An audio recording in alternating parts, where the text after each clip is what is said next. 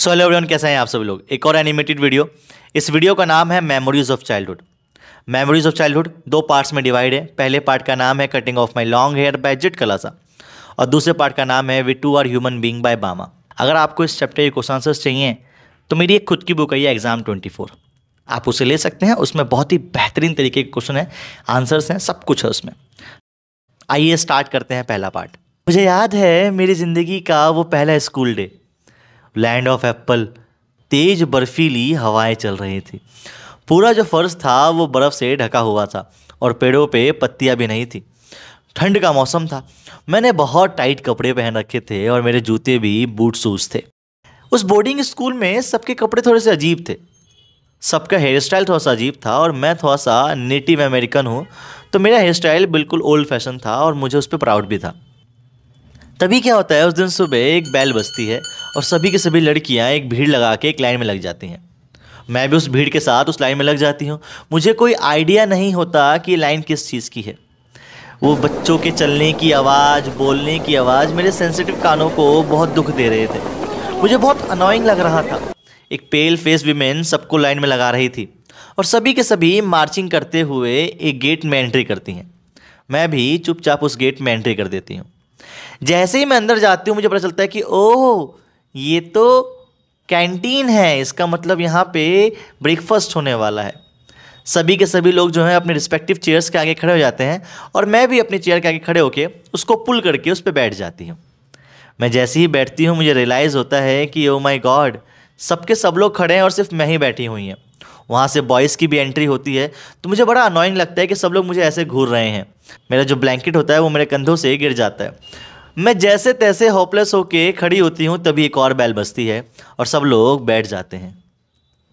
अब सब लोग दोबारा मुझे घूर रहे हैं कि यार जब मैं बैठी थी, सब लोग खड़े थे और जब मैं खड़ी हुई तो सब लोग बैठ गए हैं।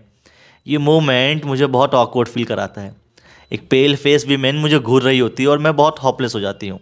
एक और बैल बजती है और सभी लोग जो है खाना स्टार्ट कर देते हैं और मैं रोना स्टार्ट कर देती हूँ, क्योंकि मुझे चम्मच से खाना नहीं आता।